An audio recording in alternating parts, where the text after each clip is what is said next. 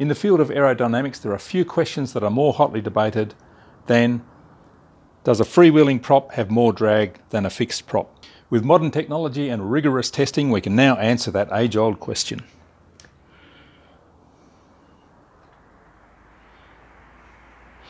With my test rig, I have the wind tunnel here, a freewheeling prop there, a strain gauge here, and my readout measurement here.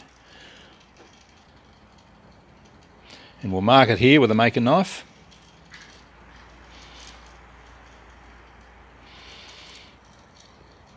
That should be enough for the experiment to stabilise. Now we will, oh, stop the prop and repeat the test.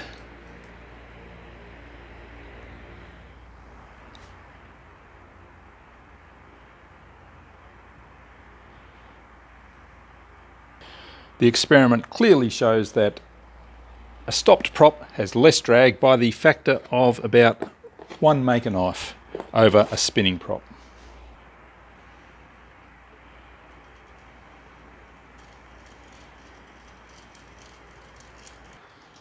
Freewheeling prop has that much drag